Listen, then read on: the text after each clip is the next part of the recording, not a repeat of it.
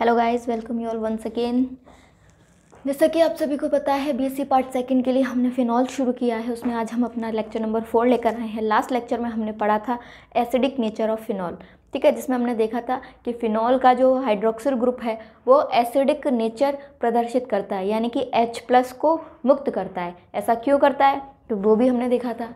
यही तो देखा था हमने लास्ट लेक्चर में। ये जो फिनॉल का जो ओ OH ग्रुप है, ये एसिडिक नेचर प्रदर्शित करता है। यानी कि ये H प्लस को त्याग कर क्या बनाता है? O माइनस बनाता है। ठीक है? और साथ में H प्लस त्याग देता है।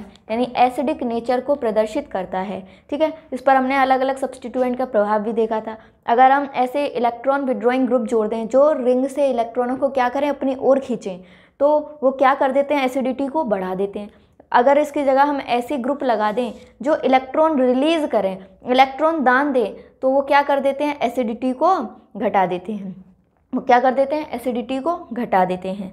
जैसे फॉर एग्ज़ाम्पल अगर हम ये लगाएँ NO2 ग्रुप है, Cl है फ्लोरीन है, ये सभी कैसे ग्रुप हैं? इलेक्ट्रॉन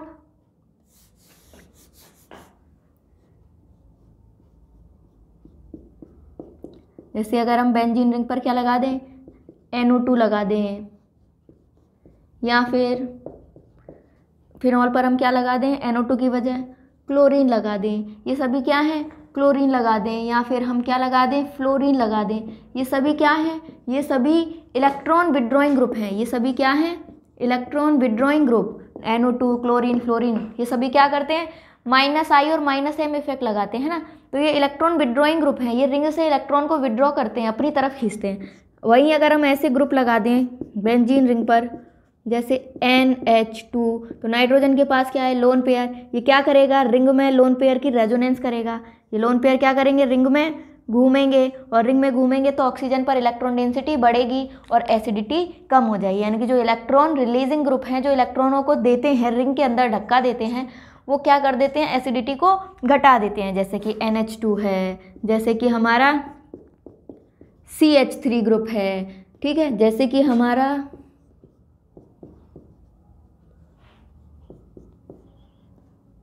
जैसे कि हमारा क्या है?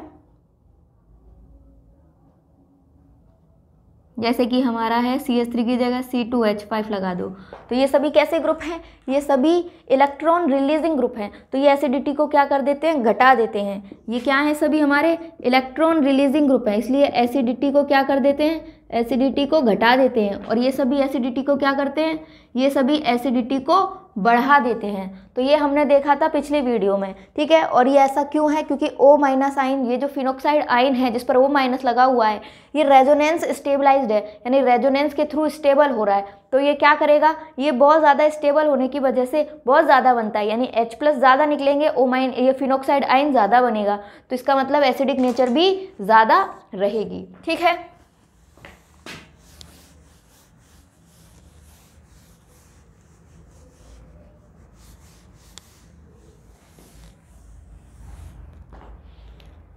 अगर कंपैरिजन की जाए, किसकी? एक है हमारे पास सी ओ यहाँ पर है R C O O H acidic acid sorry carboxylic acid और एक है हमारे पास क्या है? एक है हमारे पास आर ओ एच एल्कोहल और एक है हमारे पास फिनॉल अगर हम कंपैरिजन करें तो कंपैरिजन तो हमने शुरू में भी दिखा रखा था, है ना? शुरू में भी दिखा रखा था तो कौन सबसे ज़्यादा ये इसको हमने नंबर वन दे दिया, ये सेकंड दे दिया और ये क्या दे दिया? हमने इसको थर्ड ठीक है? तो कौन सबसे ज़्यादा एसिडिक होगा? ये क्या बनाएगा? ये बनाएगा R C double bond O O minus plus H plus है ना? ये क्या बनाएगा? ये बनाएगा R O minus plus H plus और ये क्या बनाएगा? ये बनाएगा O minus plus H plus ठीक है? O minus plus H plus क्या बनाएगा ये? फिनोक्साइड आयन तो यहाँ पर देखें, ये कार्बन कैसा होता है? डेल्टा पॉजिटिव होता है, क्योंकि ऑक्सीजन क्या करता है? ये जो ऑक्सीजन है, इलेक्ट्रॉनों को अपनी तरफ़ खींचता है, जिसकी वजह से पॉजिटिव होता है। तो ये क्या करेगा? नेगेटिव चार्ज को ज़्यादा अपनी तरफ़ खींचेगा। और दूसरा, अगर हम देखें तो यहाँ पर जो नेगेटिव चार्ज है, ये कैसा है? डिलोकलाइज भी है। तो जो हमारे कार्बोक्सिलिक अम्ल होते हैं, इसमें कार्बोनिल ग्रुप जो है, इसका प्रभाव खींचने का, इलेक्ट्रॉन खींचने का ज़्यादा होता है। तो ये जितना ज़्यादा इलेक्ट्रॉन खींचेगा, उतना ही ज़्यादा एच प्लस रिलीज़ होगा। इसलिए जो कार्बोक्सिलिक अम्ल है, यानी कि जो फ़र्स्ट है, वो सबसे ज़्यादा एसिडिक होते हैं। ठीक है? अगर इनकी कंपैरिजन की जाए इन दोनों की तो यहाँ पर ऑक्सीजन से कौन सा ग्रुप जुड़ा हुआ है? आर ग्रुप और आर ग्रुप क्या करता है? इलेक्ट्रॉन रिलीजिंग ग्रुप होता है। आर ग्रुप क्या करता है? इलेक्ट्रॉन रिलीजिंग ग्रुप होता है। तो ऑक्सीजन पर इलेक्ट्रॉन देगा और देगा तो इलेक्ट्रॉन डेंसिटी नेगेटिव चार्ज जो है ऑक्सीजन पर, वो बढ़ेगा। और बढ़ेगा तो ये तुरंत एच प्लस से रिएक्ट कर जाएगा। इसकी एसिडिटी क्या हो जाएगी? कम हो जाएगी। और यहाँ पर फिनोक्साइड आइन देखें तो ये जो आइन है स्टेबल है, किसकी वजह से? रेजोनेंस की वजह से। रेजोनेंस की वजह से स्टेबल है इसलिए ये ज़्यादा बनता है तो एच प्लस ज़्यादा निकलते हैं। तो ठीक है तो ऑसिडिटी का ऑर्डर क्या हो जाता है? थर्ड जो है, वो ज़्यादा एसिडिक होते हैं और सेकेंड जो है, वो सबसे कम एसिडिक होते हैं। ठीक है? ये मैंने शुरुआत में भी बताया था कि कार्बोक्सिलिक एसिड सबसे ज़्यादा एसिडिक होते हैं, क्योंकि वो कार्बोक्सिलिक एसिड है भाई, एसिड है। और हम यहाँ पर देखें तो इक्विवेलेंट स्ट्रक्चर बनते हैं दो, और दोनों इक्विवेलेंट स्ट्रक्चर बनने की वजह से इसकी एसिडिटी जो होती है वो ज़्यादा बढ़ जाती है। बन तो यहाँ पर भी रहे हैं, लेकिन इक्विवेलेंट नहीं है। वो क्या बन रहे हैं? रेजोनेटिंग स्ट्रक्चर्स बन रहे हैं। ठीक है तो ये उतना ज़्यादा एसिडिक नहीं है जितना कार्बोक्सिलिक अम्ल होते हैं। तो ये होता है इनका एसिडिटी का ऑर्डर ठीक है? चलिए आगे चलते हैं फिर। अब हम देखेंगे, हमने तो बता दी कि एसिडिक होते हैं। क्या सच में ये एसिडिक होते हैं? अगर ये एसिडिक होते हैं तो इनको कोई रिएक्शन भी तो देनी चाहिए। तो हम देखेंगे, क्योंकि हम प्रूव कैसे करेंगे कि ये एसिडिक हैं? इनकी रिएक्शन से ही तो करेंगे। ये कोई रिएक्शन देंगे, उसमें ये अगर एसिडिक बिहेवियर प्रदर्शित कर रहे हैं, वहीं से तो हमें पता लगेगा कि ये कैसे होते हैं एसिडिक होते हैं। तो वो कौन सी रिएक्शन है जो फिनॉल के एसिडिक बिहेवियर को प्रदर्शित करती हैं? हम उनको देखेंगे अब। तो यहाँ पर हम देख सकते हैं, हम क्या करने वाले हैं? फिनॉल की अम्लीय प्रकृति के कारण अभिक्रियाएँ कि आखिर फिनॉल की जो एसिडिक नेचर होती है, उसकी वजह से ये कौन कौन सी रिएक्शन देता है? एक रिएक्शन तो हम वही करेंगे जो हमने एल्कोहल्स में भी की थी, उनकी एसिडिक नेचर को प्रदर्शित करने के लिए। याद है ना आप सभी को कौन सी रिएक्शन है वो? जो मोनोहाइड्रिक में भी की थी, डाईहाइड्रिक में भी की थी, ट्राईहाइड्रिक में भी की थी। और ये बताया था कि ये प्रदर्शित कर रही है कि ऑक्सीजन और हाइड्रोजन के बीच का जो बॉन्ड होता है, वो क्या होता है? पोलर होता है, यानी एच प्लस बाहर निकल जाता है, एसिडिक होता है। कौन सी रिएक्शन थी वो? याद हो तो अगर आपको, कौन सी थी? सक्रिय धातु के साथ अभिक्रिया। जब हम किसके साथ रिएक्शन कराते हैं? सक्रिय धातु, जैसे कि सोडियम, पोटेशियम, लिथियम, ठीक है? आदि सक्रिय धातु के साथ, आदि सक्रिय धातु के साथ अभिक्रिया में, अभिक्रिया द्वारा लिखते हैं। अभिक्रिया द्वारा H2 गैस बाहर निकलती है। H2 गैस बाहर निकलती है। ये रिएक्शन हमने अल्कोहल्स में भी पढ़ी थी, जहाँ हमने उनकी किसके साथ? सोडियम के साथ रिएक्शन कराई थी। तो सोडियम क्या करता है? इलेक्ट्रॉन देता है, Na प्लस बनाता है। एक इलेक्ट्रॉन देगा, उस इलेक्ट्रॉन को अगर H प्लस निकल रहा है तो क्या कर लेगा? उस इलेक्ट्रॉन को ग्रहण कर लेगा और H2 गैस में बदल कर बाहर निकल जाएगा। और अगर H2 गैस बाहर निकल रही है, इसका मतलब कि जो भी हमारा सबस्ट्रेट है, वो क्रियाधार है, वो क्या कर रहा है? अम्लीय प्रकृति को प्रदर्शित कर रहा है। यानी कि यहाँ पर क्या होगा? ये होगा कि हमारे पास अगर फिनॉल है, जब मैं इसकी रिएक्शन किससे कराऊँगी? सोडियम मेटल के साथ कराऊँगी तो मुझे क्या मिलेगा? मुझे ये मिलेगा कि जो फिनॉल है, वो H प्लस त्याग देगा और यहाँ पर क्या रह जाएगा? O माइनस और इसको कौन स्टेबलाइज करेगा? Na प्लस जब ये Na प्लस बनेगा, जब सोडियम क्या बनेगा? Na प्लस बनेगा तो एक इलेक्ट्रॉन बाहर भी निकालेगा। और यहाँ से कौन बाहर निकला है? यहाँ से बाहर निकला है H प्लस तो H प्लस क्या करेगा? इलेक्ट्रॉन को ले लेगा और क्या बना लेगा? H two one by two H two gas के रूप में बाहर निकल जाएगा। तो यहाँ से हमें क्या प्राप्त होगी? One by two H two gas प्राप्त होगी। है ना? कैसे प्राप्त होगी? ये इलेक्ट्रॉन निकला, इस इलेक्ट्रॉन को कौन ले लेगा? H प्लस ले लेगा। H प्लस के पास इलेक्ट्रॉन नहीं है। जैसे ही H प्लस ले लेगा किसमें चेंज हो जाएगा? H में। और ये क्या आएँगे?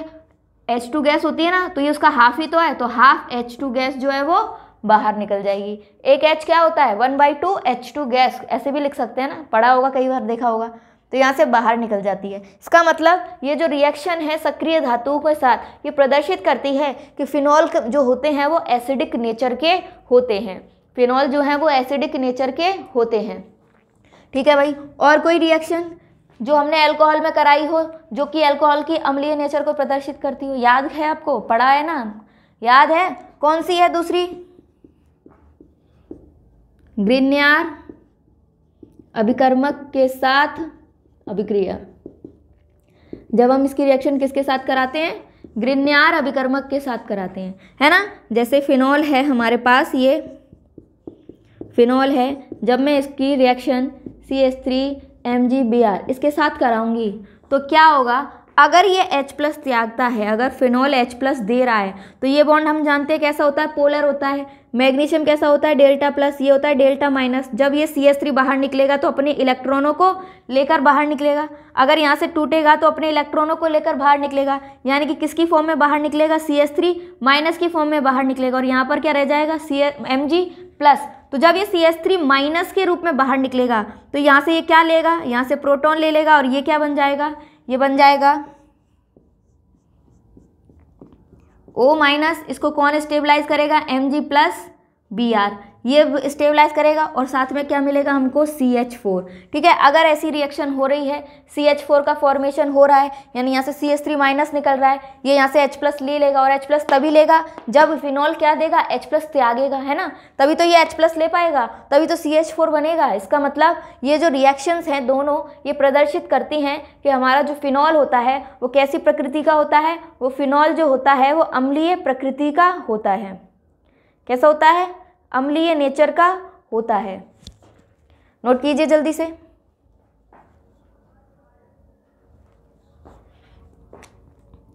थर्ड जो रिएक्शन है, जो अम्लीय प्रकृति को प्रदर्शित करती है, वो है क्षारों के साथ अभिक्रिया। क्षारों के साथ अभिक्रिया। अगर ये अम्ल है अगर फिनॉल अम्ल की तरह व्यवहार कर रहा है, H प्लस दे रहा है तो क्षार के साथ रिएक्ट करके क्या होता है? एसिड बेस रिएक्शन होती है। पढ़िए ना, अम्ल क्षार के साथ रिएक्ट कर जाते हैं और क्या बनाते हैं? पानी बनाते हैं और दूसरा लवण बनाते हैं। लवण और पानी बनाते हैं। तो ऐसी रिएक्शन होनी चाहिए अगर फिनॉल एच प्लस दे रहा है। तो देख लेते हैं। तो हमने देखा, जब हम रिएक्शन कराएँगे तो हम देखेंगे कि फिनॉल जो है, फिनॉल प्रबल अम्लों के सॉरी प्रबल क्षारों के साथ अभिक्रिया करता है। प्रबल क्षारों के साथ अभिक्रिया करता है। यानी कि H प्लस तो देता है, लेकिन अगर हम दुर्बल क्षार ले लें तो उसके साथ नहीं देगा। अगर हमने कोई प्रबल क्षार लिया है, जैसे एन ए ओ एच के ओ एच लिया है तो तो रिएक्शन देगा। अदरवाइज़ हमने कोई वीक बेस ले लिया है तो वो रिएक्शन नहीं देगा। यानी वीक बेस के अंदर इतनी ताकत नहीं है कि वो फिनोल से H प्लस निकलवा सके। तो वीक बेस के साथ कोई रिएक्शन नहीं होगी। यानी कि अगर फिनॉल इसके साथ रिएक्ट कर रहा है यह है फिनॉल इसकी रिएक्शन में कराती हूँ एन ओ OH के साथ। तो क्या होगा? Na प्लस होता है। ओ OH क्या होगा? माइनस ओ OH माइनस है तो ये क्या लेगा? प्रोटॉन लेगा। और यहाँ से कौन बाहर निकलेगा? H2O बाहर निकल जाएगा। ओ OH माइनस है। अगर ये H प्लस दे रहा है तो यहाँ से H प्लस लेकर H2O बाहर निकल जाएगा। और दूसरा क्या बनेगा? सॉल्ट बनेगा, लवण। लवण पानी तो बनता है। अम्ल क्षार की रिएक्शन से। ये अम्ल की तरह व्यवहार कर रहा है। ये क्षार। तो क्या बनेगा? पानी तो बन गया, लवण और बनना चाहिए। तो ये बनेगा O minus N A plus तो बन गया वही लवण। ये क्या बना हमारा? लवण है फिनॉल का सोडियम डेरिवेटिव है। सोडियम व्युत्पन्न है फिनॉल का। तो इसका मतलब ये जो रिएक्शन है, ये प्रदर्शित कर रही है कि जो फिनॉल है, वो एसिडिक नेचर का होता है। है ना? वहीं अगर हम फिनॉल की रिएक्शन ये ऊपर नोट कर लिया होगा, इसको मिटा देती हूँ।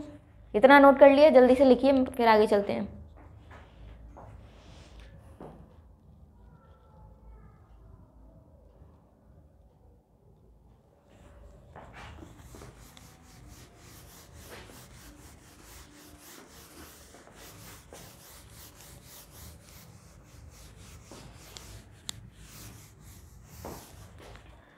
वहीं अगर हम फिनॉल की रिएक्शन इससे कराएँ, फिनॉल की रिएक्शन इससे कराएँ N H C O three sodium bicarbonate ये कैसा वे, कैसा क्षार है? ये एक दुर्बल क्षार है। क्या है? दुर्बल क्षार है। तो ये यहाँ से H प्लस को बाहर नहीं निकाल सकता। तो जब हम इसके साथ रिएक्शन कराएँगे तो हमें क्या होगा? क्या प्राप्त होगा? हमें प्राप्त होगा नो रिएक्शन नो रिएक्शन मतलब कुछ भी प्राप्त नहीं होगा। ये रिएक्शन होगी ही नहीं। ये एसिड बेस रिएक्शन होगी ही नहीं। क्योंकि ये क्या है? दुर्बल क्षार है। इससे पता चलता है कि जो फिनॉल है वो अम्लीय नेचर प्रदर्शित करता है। यानी क्षारों के साथ रिएक्ट करता है। लेकिन कैसे? प्रबल क्षारों के साथ। केवल प्रबल क्षारों के साथ रिएक्शन देगा। दुर्बल क्षारों के साथ कोई रिएक्शन नहीं देगा। और अगर हम देखें फिनोल की एसिडिक नेचर तो आप लिटमस टेस्ट कर सकते हैं। लिटमस टेस्ट में क्या होता है? जो हम नीला लिटमस पेपर लेते हैं, जब हम उसको किसी एसिड में डालते हैं तो वो कैसा हो जाता है? रेड। तो जब हम फिनॉल के विलियन में लिटमस पेपर को डालेंगे, है ना तो क्या होगा? लिटमस पेपर ब्लू से रेड हो जाता है, जो भी ये प्रदर्शित करता है कि फिनॉल जो होते हैं, वो एसिडिक नेचर के होते हैं। ठीक है? तो इतने प्रूफ इनफ है, ये प्रूफ करने के लिए कि फिनॉल जो होता है वो एसिडिक नेचर का होता है। बहुत सारे प्रूफ दे दिए ना, कितने सारे रिएक्शंस हैं जो ये प्रदर्शित कर रही हैं कि फिनॉल एसिडिक नेचर का है है ना? तो आइए अब हम देखते हैं फिनॉल की रासायनिक अभिक्रियाएँ। कैसी कैसी रिएक्शंस देगा फिनॉल? देखते हैं कैसे रिएक्शंस देगा फिनॉल। अगर फिनॉल के स्ट्रक्चर को अगर आप गौर से देखें, है ना तो आपको समझ में आ जाए कैसी कैसी रिएक्शंस देगा। एक तो यहाँ पर हाइड्रोक्सिल ग्रुप जुड़ा हुआ है दूसरा यहाँ पर क्या है? एरोमेटिक रिंग है है ना? ये क्या है? बेंजिन रिंग अगर मैं ये हटा दूँ तो ये बची हुई क्या बचेगी? बेंजिन रिंग बचेगी ना? तो बेंजीन रिंग है। बेंजीन रिंग अपनी अलग रिएक्शंस देती है। ओ OH ग्रुप जो होता है हाइड्रोक्सिल ग्रुप अपनी अलग तरीके की रिएक्शंस देता है। तो यहाँ पर हम जो रिएक्शंस पढ़ेंगे फिनॉल के, वो दो तीन, दो दो, दोनों तरह से पढ़ेंगे। पहले हम पढ़ेंगे हाइड्रोक्सिल समूह की अभिक्रियाएँ कि हाइड्रोक्सिल समूह की वजह से फिनॉल कौन कौन सी रिएक्शंस देता है? फिर हम देखेंगे कि इस एराइल समूह की वजह से, इस एरोमेटिक समूह की वजह से फिनॉल की क्या क्या रिएक्शंस होती हैं? इसकी वजह से जो रिएक्शंस होती हैं, वो आपने फ़र्स्ट ईयर में भी पढ़ रखी होंगी। बेंजीन तो पढ़ी होगी ना फ़र्स्ट ईयर में? तो बेंजीन कौन कौन सी रिएक्शंस देता है? जो भी रिएक्शंस बेंजीन देता है, वो रिएक्शंस ये भी देगा। क्यों देगा? क्योंकि बेंजीन रिंग है वही तो वो सारी रिएक्शंस भी हम पढ़ेंगे, ठीक है? तो सबसे पहले हम उन रिएक्शंस के बारे में डिस्कस करते हैं, जो ओ OH ग्रुप की वजह से हो रही हैं हाइड्रोक्सिल समूह की वजह से हो रही हैं। तो हम पहले कौन सी रिएक्शंस पढ़ेंगे?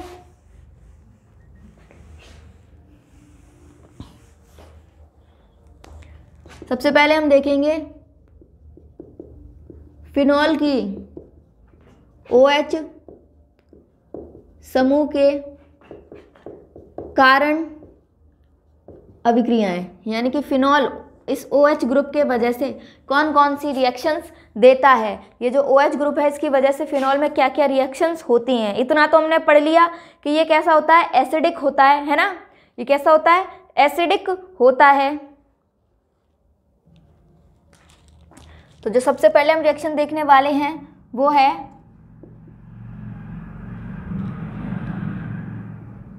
बेंजोइलीकरण।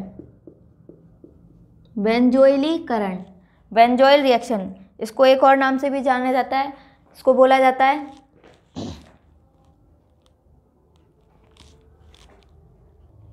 इसको एक और नाम से भी जानते हैं शोलेट फोमन रिएक्शन के नाम से भी जाना जाता है ना? तो बेंजोइलीकरण इसमें होता क्या है कि फिनॉल जो है फिनॉल जो है, किसके साथ? फिनॉल बेंजोइल क्लोराइड के साथ अभिक्रिया द्वारा क्या बनाता है? अभिक्रिया द्वारा किसका निर्माण करता है? फेनिल बेंजोएट का निर्माण करता है। किसका निर्माण करता है? दिख रहा है ना उधर? फेनिल बेंजोएट का निर्माण करता है। अरे फेनिल लिख गया। फेनिल बेंजो एट का बेंजोएट का, निर्माण करता है। ठीक है, देखते हैं ये रिएक्शंस कैसे होती है। देखते हैं कि कैसे रिएक्शन करता है इसके साथ। ये रिएक्शन होती है, ये है हमारे पास फिनॉल फिनॉल है। और ये है हमारे पास बेंजोइल क्लोराइड। यहाँ पर लगा होगा CO और ये रहेगा सी ये क्या है? Benzoyl chloride. जब इसके साथ रिएक्शन होती है तो फाइनली हमको प्राप्त होता है। क्या प्राप्त होता है? मैं इसको थोड़ा रीअरेंज करके लिखूँगी। ऑक्सीजन यहाँ है। ठीक है, ये प्राप्त होगा सी डबल बॉन्ड ओ और यहाँ पर फिर से फिनाइल रिंग प्राप्त हो जाएगी। ठीक है तो ये क्या है? ये है फेनिल बेंजोएट क्या प्राप्त होता है? फेनिल बेंजोएट साथ में हमको एच सी एल प्राप्त होता है। साथ में हमको क्या प्राप्त होता है? एच सी एल प्राप्त होता है। ये रिएक्शन कैसे हुई भाई? कैसे हुई? जानते हैं? अम्लीय नेचर की वजह से हुई ना? हमने जानते हैं कि ये ओ क्या करता है? एच प्लस त्यागता है है ना? और यहाँ पर क्या है हमारे पास? यहाँ पर है। क्या देख रहे हैं हम? मैकेनिज्म देख रहे हैं। ठीक है? यहाँ पर क्या है?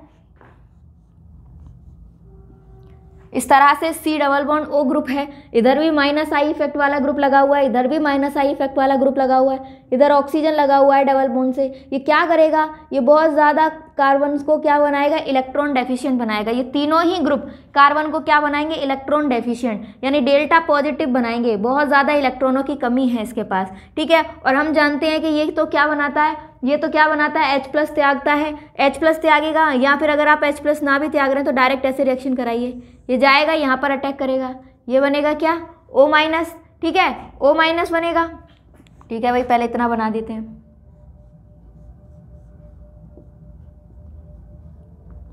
यहाँ पर क्या लगा हुआ? पॉजिटिव चार्ज आ गया।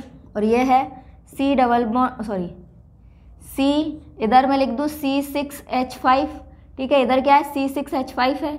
यहाँ पर क्या है? ओ माइनस है। इधर क्या जुड़ा हुआ है? क्लोरीन जुड़ा हुआ है। जैसे ही ये वापस आएगा, यहाँ से कौन बाहर निकल जाएगा? सी एल माइनस जैसे ही नेगेटिव चार्ज वापस आएगा, यहाँ से सी एल माइनस निकल जाएगा और सी एन माइनस क्या करेगा? यहाँ से एच प्लस ले लेगा। ये भी तो क्या त्यागेगा? एच प्लस त्यागेगा, क्योंकि ऑक्सीजन पर कैसा चार्ज आ गया? है पॉजिटिव चार्ज आ गया है। तो क्या करेगा? यहाँ से बाहर कौन निकलेगा? एच सी एल यहाँ से सी एल माइनस यहाँ से H plus H C L बाहर निकल जाएगा और प्रोडक्ट क्या मिल जाएगा हमें? प्रोडक्ट मिल जाएगा हमको सी डबल बॉन्ड ओ इस तरह से जो हमारा प्रोडक्ट है, वो हमको प्राप्त हो जाता है। तो ये जो रिएक्शन है, इस तरीके से होती है। ठीक है? नोट कीजिए जल्दी, फिर देखते हैं अगली रिएक्शन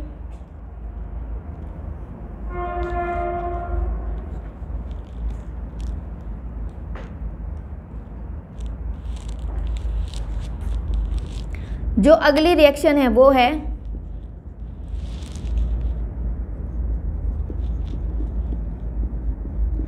एस्ट्रीकरण या इसको बोलते हैं हम? ओ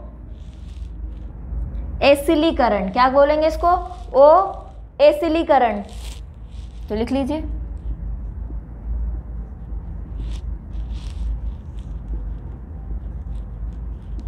ओ एसिलीकरण का मतलब जो भी एस्टिरीकरण होगा या एसिलीकरण होगा, एसाइल ग्रुप आएगा, वो कहाँ पर जुड़ेगा? ऑक्सीजन पर जुड़ेगा। इसलिए इसको ओ एसिलीकरण भी कहते हैं। ठीक है? तो ये रिएक्शन हम कई बार पढ़ चुके हैं अल्कोहल्स में भी पढ़ा है हमने। याद है ना अल्कोहल्स में भी हमने एस्ट्रीकरण कराया था? किसकी उपस्थिति में? अम्ल की उपस्थिति में। और यहाँ पर भी हम एस्ट्रीकरण कराएँगे। अम्ल की उपस्थिति में भी करा सकते हैं और क्षार की उपस्थिति में भी करा सकते हैं। यहाँ पर जो हम एस्ट्रीकरण कराएँगे, वो अम्ल के साथ भी हो सकता है और क्षार के साथ भी हो सकता है। दोनों का मेकेनिज्म थोड़ा सा डिफरेंट होगा। वो हम देखेंगे मेकेनिज्म में। तो यहाँ पर हम लिख सकते हैं कि फिनॉल फिनॉल क्या करते हैं? कि phenol N A O H या पिरीडीन या concentrate S two S O four की की उपस्थिति में concentrate S two S O four की उपस्थिति में क्या करते हैं? क्या करते हैं? किसके साथ? ये हम कई बार कर सकते हैं, कर चुके हैं। एसाइल क्लोराइड ले लेंगे। क्या लेंगे? एसाइल क्लोराइड या ओ एसिटिक एनहाइड्राइड के साथ अभिक्रिया कर क्या बनाते हैं? एस्टर बनाते हैं। क्या बनाएँगे? एस्टर बनाएँगे। ठीक है? ए सी टू ओ हम कई बार लिख चुके हैं ये रिएक्शन ये इसके, इन दोनों के साथ कई बार ये रिएक्शन करा चुके हैं। ठीक है? तो आपको पता होनी चाहिए मैकेनिज्म देखेंगे हम कैसे करेंगे। ये है हमारे पास फिनॉल है ठीक है? इसकी रिएक्शन हम करा रहे हैं किसके साथ? मान लो इसके साथ करा रहे हैं C S three C double bond O C L ठीक है? एसाइल क्लोराइड भी बोलते हैं इसे, ठीक है? इसके साथ रिएक्शन करा रहे हैं। रिएक्शन एन एच या पिरीडीन की उपस्थिति में भी हो सकती है, या फिर concentrate S two S O four यानी क्षारीय माध्यम में भी हो सकती है और अम्लीय माध्यम में भी हो सकती है। फाइनली हमको क्या प्राप्त होगा? ओ पर यानी कि ये जो ऑक्सीजन है हाइड्रोजन हट जाएगा, H प्लस निकल जाएगा और यहाँ पर क्या मिल जाएगा? C double bond O C H three साथ में क्या मिलेगा हमको? एच सी एल प्राप्त हो जाएगा। इस तरह से ये रिएक्शन क्या होगी? संपन्न होगी। इसी तरह से हम एसिटिक एनहाइड्राइड के साथ भी करा सकते हैं। मैं ये ऊपर का मिटा रही हूँ।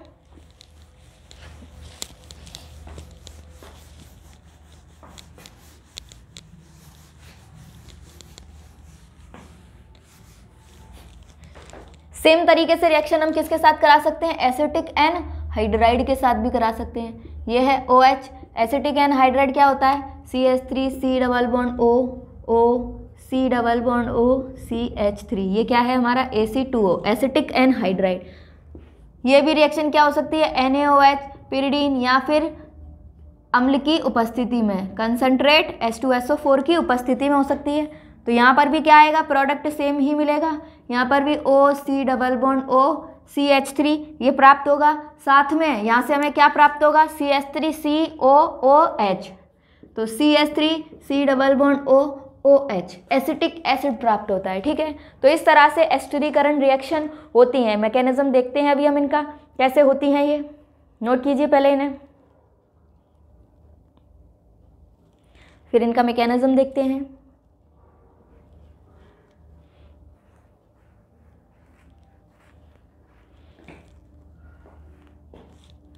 हो गया?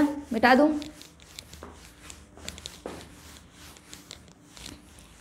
दोनों मीडियम में रिएक्शन देखेंगे। पहले अम्लीय मीडियम में, फिर क्षारीय मीडियम में, ठीक है? अम्लीय मीडियम में और क्षारीय मीडियम में। तो सबसे पहले हम देखेंगे, सबसे पहले हम कौन से मीडियम में देख रहे हैं? सबसे पहले हम देख लेते हैं अम्लीय माध्यम में कैसे होगी, ठीक है? सबसे पहले हम क्या देख लेते हैं? अम्लीय माध्यम में अभिक्रिया की मैकेनिज्म ठीक है? क्रियाविधि कैसे होगी? ठीक है तो अम्लीय माध्यम है और यहाँ पर हमारे पास क्या है? ऑक्सीजन है। ऑक्सीजन के पास क्या होते हैं? लोन पेयर होते हैं, है ना? तो ये क्या करेगा? सबसे पहले क्या करेगा? ठीक है तो हम जानते हैं कैसे होगा। मान लो ये लिया हमने। C S three C double bond O और यहाँ पर एक्स ग्रुप लगा दूँ। एक्स की जगह पर क्या हो सकता है? एक्स की जगह पर जो है हमारा क्लोरीन भी हो सकता है। या फिर हम मान लें कि केवल हमने ये ग्रुप लिया है और इसको क्या मान लिया? एक्स मान लिया। क्या मान लिया? एक्स और एक्स की जगह पर क्या भी हो सकता है? हेलोजन भी हो सकता है। ठीक है? एक कॉमन मैकेनिज्म लेके चलेंगे। हमारे पास क्या है? अम्लीय माध्यम लिया है। Concentrate S two S O four लिया है। S two S O four क्या करेगा? एच प्लस देगा। ऑक्सीजन के पास क्या होते हैं? लोन पेयर ये क्या करेगा? एच प्लस को ले लेगा भाई। ले लिया। अब तो ये क्या बना लेगा? ओ एच और जैसे तीन बॉन्ड बनाएगा, इस पर कैसा चार्ज आ जाएगा? पॉजिटिव चार्ज आ जाएगा। आ गया भाई। अब इस पर किसकी रिएक्शन होगी? अब जैसे ही ऑक्सीजन पर पॉजिटिव चार्ज आएगा, ये क्या करेगा? इलेक्ट्रॉन इस पर तो बहुत, वही बहुत गड़बड़ होगी। ऑक्सीजन इलेक्ट्रोनेगेटिव है। पॉजिटिव चार्ज सहन ही नहीं कर सकता। तो ये क्या करेगा? इलेक्ट्रॉनों को खींचेगा अपनी तरफ़। लेकिन तभी कौन अटैक कर देगा इस पर? जब ये इलेक्ट्रॉन अपनी तरफ़ खींचेगा तभी इस पर कौन अटैक कर देगा? हमारा फिनॉल फिनॉल में जो ऑक्सीजन है, इसके पास भी क्या है? लोन पेयर है। तो जैसे ही ये खींचेगा अपनी तरफ़ इलेक्ट्रॉन फिनॉल यहाँ पर क्या कर देगा? अटैक कर देगा। जैसे ही फिनॉल ने अटैक किया, क्या बना ये? C S three C O H ये तो बन गया ओ एच यहाँ पर क्या है? यहाँ पर है हमारे पास एक्स और यहाँ पर क्या जुड़ गया? ऑक् फिनॉल जुड़ गया आकर। यहाँ पर कौन जुड़ गया? फिनॉल अब जैसे ही ऑक्सीजन ने तीन बॉन्ड बनाए, अब यहाँ पर क्या आ गया? पॉजिटिव चार्ज आ गया। यहाँ पर क्या आ गया? पॉजिटिव चार्ज आ गया। ये क्या करेगा? यहीं पर लिख देती हूँ। ये क्या करेगा? क्या करेगा? ये यहाँ से बॉन्ड के इलेक्ट्रॉनों को खींचेगा। तो यहाँ से कौन निकलेगा? Minus H plus H plus बाहर निकलेगा। साथ में कौन बाहर निकलेगा? ये जो बॉन्ड के इलेक्ट्रॉन है, ये जो बॉन्ड के इलेक्ट्रॉन है, यहाँ शिफ्ट होंगे और यहाँ से ये बाहर निकल जाएगा। ठीक है? यहाँ से H प्लस निकलेगा और यहाँ से कौन बाहर निकलेगा? X माइनस यहाँ से तो H प्लस बाहर निकला और यहाँ से X माइनस तो ये दोनों मिलकर क्या बना लेंगे? एच एक्स ठीक है? यहाँ से निकला H प्लस यहाँ से निकला X माइनस ये क्या बना लेंगे? एच एक्स साथ में एक H प्लस यहाँ से भी निकल रहा है। ये भी क्या कर रहा है? H प्लस दे रहा है। तो दो H प्लस निकलेंगे। एक H प्लस तो X माइनस के साथ क्या बना लेगा? एच एक्स और साथ में एक H प्लस और निकल रहा है। ये H प्लस क्या कर रहा था? यहाँ पर जब H2SO4 है H2SO4 है। जब ये H प्लस दे देगा तो बचेगा क्या? HSO4 माइनस बचेगा ना? तो ये वापस H2SO4 में चेंज भी तो होना चाहेगा, क्योंकि ये उत्प्रेरक का ही तो काम कर रहा है। तो इस H प्लस को कौन ले लेगा? ये ले लेगा, और वापस से क्या बना लेगा? वापस से क्या बना लेगा? H2SO4 बना लेगा। तो ये जो H प्लस निकला, इसको कौन ले लेगा? HSO4 माइनस ले लेगा H2SO4 बना लेगा। और फाइनली हमको क्या मिलेगा? फाइनली हमको मिलेगा सी डबल बॉन्ड ओ ओ और ये। ठीक है? तो इस तरह से हमें हमारा प्रोडक्ट प्राप्त हो जाता है। ठीक है? ये तो थी अम्लीय माध्यम में। ये तो रिएक्शन कब हुई है? अम्लीय माध्यम में। अम्लीय माध्यम में इस तरीके से होती है। लेकिन अगर माध्यम क्षारीय हो तो? सेकंड देखें हम किसमें क्षारीय माध्यम में। तो क्षारीय माध्यम में कैसे होगी? देख लेते हैं भाई, क्षारीय माध्यम में भी देख लेते हैं। ये है हमारे पास फिनॉल यहाँ पर है ओ OH हमने लिया है वही क्षारीय माध्यम NaOH लिया है। तो NaOH से क्या प्राप्त होगा? ओ OH माइनस क्षारीय माध्यम लिया है। अब ओ OH माइनस क्या करेगा? प्रोटॉन लेगा भाई और इसको चेंज कर देगा। किसमें चेंज कर देगा? इसको चेंज कर देगा फिनॉक्साइड आयन में।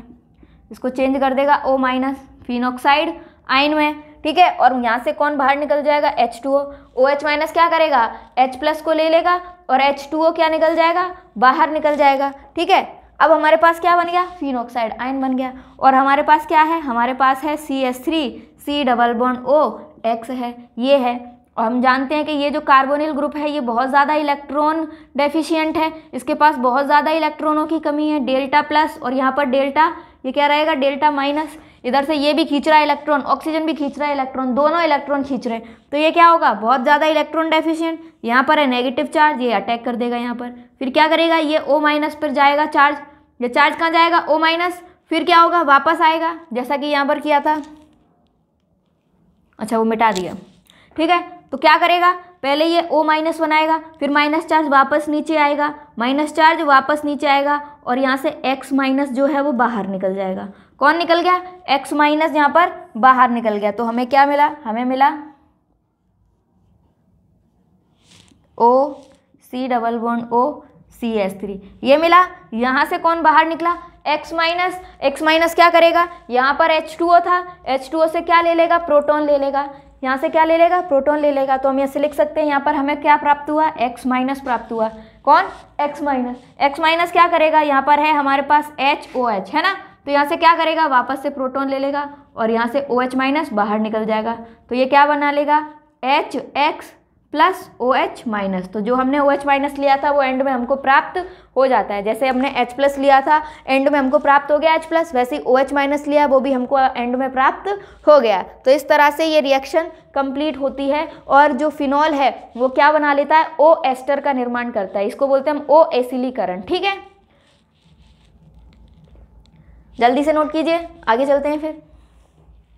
बहुत सारी रिएक्शंस करनी है हमको।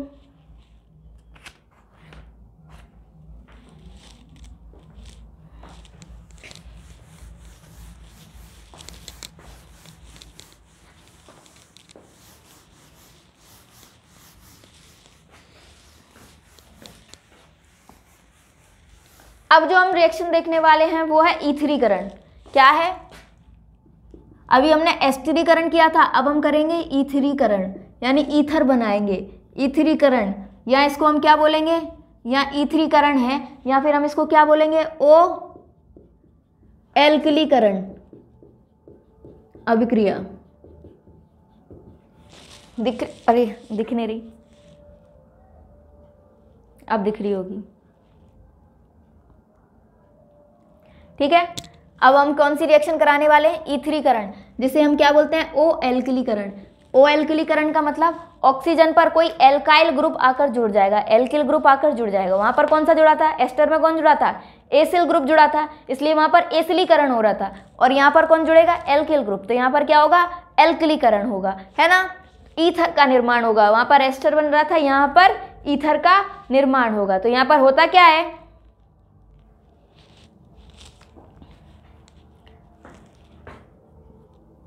यहाँ पर होता क्या है कि जो हमने फिनॉल लिया है, ठीक है, यहाँ पर है फिनॉल। जब हम इसकी रिएक्शन एल्काइल हेलाइड के साथ कराते हैं, किसके साथ? एल्काइल हेलाइड के साथ।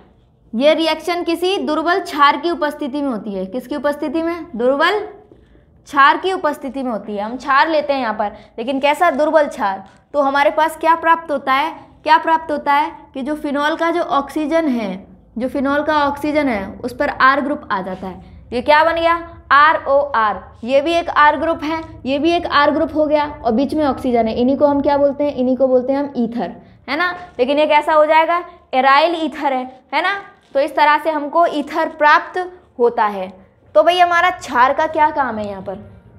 कोई बता सकता है क्षार का काम क्या है? क्षार का काम क्या है? क्षार क्या करेगा?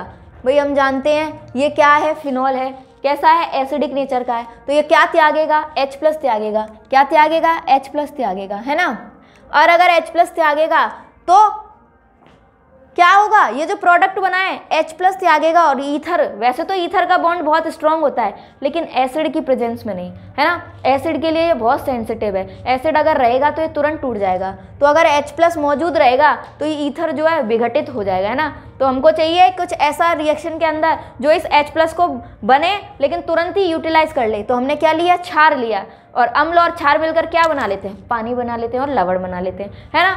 तो इसलिए हम छार लेते हैं रिएक्शंस में। और दूसरा काम क्या है? यहाँ से फिनोक्साइड आयन को बनाना। फिनोक्साइड आयन को बनाना, अगर ये H प्लस ले लेगा तो यहाँ क्या बनेगा? O माइनस बनेगा ना। छार का काम क्या है? H प्लस को लेना और इससे क्या बनाना है? पानी बनाना है। पानी बना देगा तो H प्लस रहेगा ही नहीं। H प्लस रहेगा नहीं तो इथर विघटित नहीं होगा। तो जब ये H प्लस लेगा तो यहाँ पर क्या बनेगा? O माइनस बनेगा। है ना? तो इसलिए हम यहाँ पर छार का यूज़ करते हैं। मैकेनिज्म देखते हैं। मैकेनिज्म देखते हैं इसका कैसे होता है। तो क्या होगा यहाँ पर? ये है हमारे पास फिनॉल यहाँ पर है हमारे पास फिनॉल ठीक है, हमने क्या लिया हुआ है? छार लिया हुआ है. छार का काम क्या है? प्रोटॉन लेना. छार का काम क्या है? किस लिए लिया है? H प्लस को लेने के लिए. है ना? तो ये क्या करेगा? H प्लस को लेगा और यहाँ से क्या बनाएगा? एच टू बाहर निकल जाएगा और यहाँ से क्या बनेगा? हमारे पास बनेगा फिनोक्साइड आइन क्या बनेगा यहाँ पर? फिनोक्साइड आयन बन जाएगा, ठीक है? अब ये फिनोक्साइड आयन क्या करेगा? हमारे पास क्या है? हमारे पास है आर और एक्स एक्स क्या है? कोई भी हेलोजन होगा, कोई सा भी हो सकता है। एक्स क्या हो सकता है? क्लोरीन हो सकता है ब्रोमीन हो सकता है आयोडीन हो सकता है। और हम जानते हैं हेलोजन क्या होती हैं? विद्युत ऋणात्मक होती हैं। तो ये जो होगा, ये डेल्टा माइनस होगा, ये कार्बन कैसा होगा? डेल्टा प्लस होगा, है ना? ये क्या करेगा? इलेक्ट्रॉनों को अपनी तरफ़ खींचेगा। एक्स हेलोजन ज़्यादा विद्युत ऋणात्मक है कार्बन से। तो ये डेल्टा माइनस, ये डेल्टा प्लस तो ये अटैक कर देगा इस पर। यहाँ से कौन बाहर निकल जाएगा? एक्स माइनस बाहर निकल जाएगा। तो हमको क्या प्राप्त होगा? हमको प्राप्त होगा हमारा ईथर क्या प्राप्त हुआ हमको? ईथर प्राप्त हुआ। साथ में क्या बाहर निकला? एक्स माइनस बाहर निकला। तो इस तरह से ये मैकेनिज्म होती है। नोट कीजिए। ठीक है तो हमको यहाँ पर क्या प्राप्त होते हैं? हमको क्या प्राप्त हुआ यहाँ पर? एल्काइल एराइल ईथर ईथर प्राप्त हुआ। एल्काइल एराइल ईथर अगर हम फिनॉल की रिएक्शन अगर हम फिनॉल की रिएक्शन किससे कराते हैं? एरिल सल्फ फिनॉल की, अगर हम फिनॉल की रिएक्शन किसके साथ कराते हैं? तो फिनॉल की डाई एल्किल सल्फेट के साथ, डाई एल्किल सल्फेट के साथ अभिक्रिया द्वारा अभिक्रिया द्वारा भी क्या प्राप्त होते हैं? Aryl alkyl aryl alkyl ether प्राप्त होते हैं। ईथर प्राप्त होते हैं। ठीक है? यानी कि अगर हम फिनॉल की रिएक्शन किसके साथ करा रहे हैं? हम फिनॉल की रिएक्शन करा रहे हैं। यहाँ पर हम देख लेते हैं किसके साथ? डाई एल्किल सल्फेट के साथ। डाई एल्किल सल्फेट जानते हैं क्या होता है? ये होता है S double bond O, double bond O O C H three, O C H three. ठीक है? तो ऑक्सीजन कैसा होता है? विद्युत ऋणात्मक होता है। यहाँ पर क्या हमारे पास? ओ OH है। क्या है हमारे पास? ओ OH है। है ना? तो ये रिएक्शन कैसे होगी? ये रिएक्शन कैसे होगी यहाँ पर? यहाँ पर क्या होगा? यहाँ से ये जो बॉन्ड है, ये पोलर होता है, ये डेल्टा माइनस होगा तो ये डेल्टा प्लस होगा। और यहाँ से ये क्या करेगा? एच प्लस त्यागेगा तो सबसे पहले ये क्या करेगा? यहाँ मैं आगे रिएक्शन लिखाऊँ। सबसे पहले ये क्या करेगा? ये H प्लस त्यागेगा यहाँ से। ठीक है, और किसमें चेंज हो जाएगा? ये चेंज हो जाएगा किसमें? O माइनस में फिनोक्साइड आइन में। अब है हमारे पास C H three O S double bond O double bond O O C H three है। ठीक है तो क्या होगा? ये अटैक करेगा इस कार्बन पर, ये बॉन्ड यहाँ से ऐसे निकल जाएगा। तो यहाँ पर हमको क्या प्राप्त होगा? यहाँ पर प्राप्त होगा, ठीक है, यहाँ पर हमको क्या प्राप्त होगा? ओ सी एच थ्री प्राप्त होगा।